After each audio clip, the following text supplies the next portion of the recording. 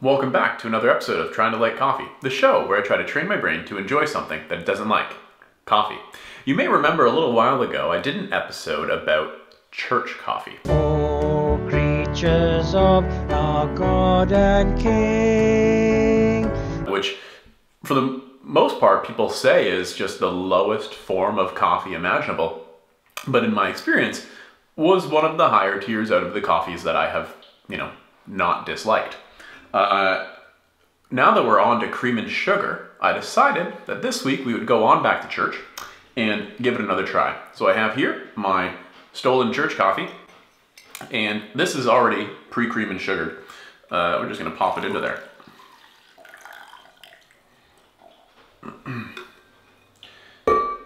Give a little bit of a mix.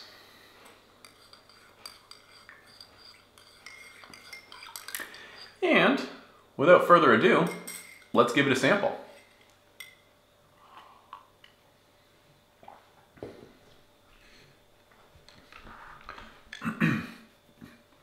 maybe I am, um, maybe I'm getting more used to the taste of lattes. maybe I should have tried some black before I mixed it, but I think I actually like this worse than when I just had church coffee black. I don't know what to make of that, but that's all I've got for you today.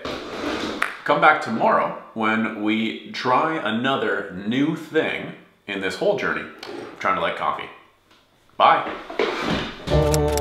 Creatures of our God and King. Lift up your voice and with us sing. Hallelujah.